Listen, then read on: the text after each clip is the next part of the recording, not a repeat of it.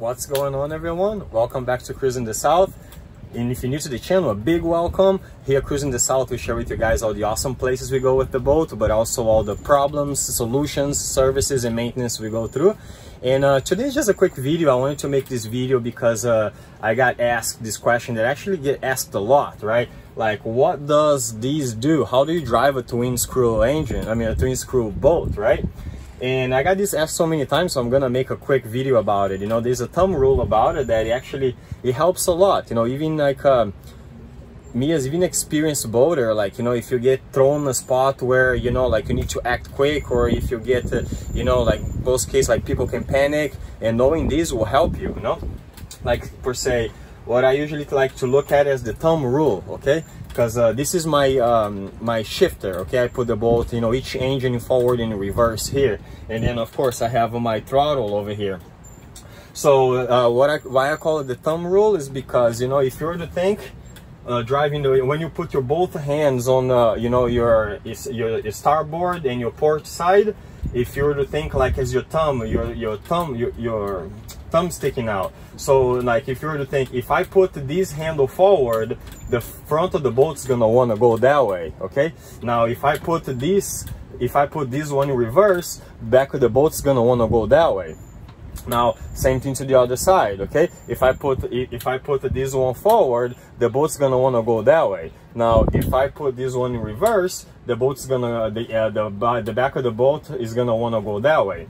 So you know, if you're just think you know so like forward that way reverse this way same thing with this one you know forward that way and then reverse would be this way. So you know quite easy to remember forward that way re reverse that way forward that way reverse this way. And of course you would throttle as much as you would need on that case. And i guess on the driving a trailer too i have a little trick. Okay so like when you're backing up a trailer if you are to put your hand on the bottom of the steering wheel, then you turn the steering for whatever side you want the trailer to go, okay?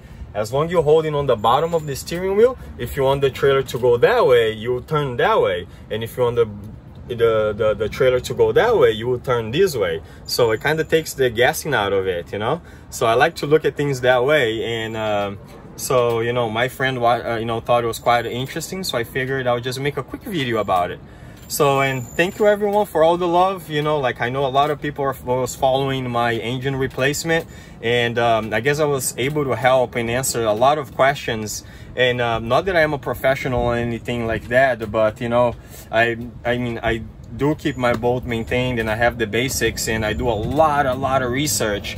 So by watching my video you're kind of skipping a lot of research that i have done you know and uh, one of the next videos that are gonna come up will be like I want to compare my both engines. Like I said before, one engine is freshwater cooled, one engine is uh, uh, raw water cooled. I want to make measurements and see what's the difference between the two.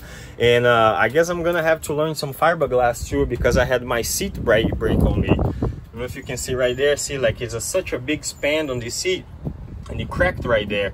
So I guess I am going to have to learn to do some fiberglass but I want to do it with gel coat and not with Awlgrip. I wanted to put the same thing that is here.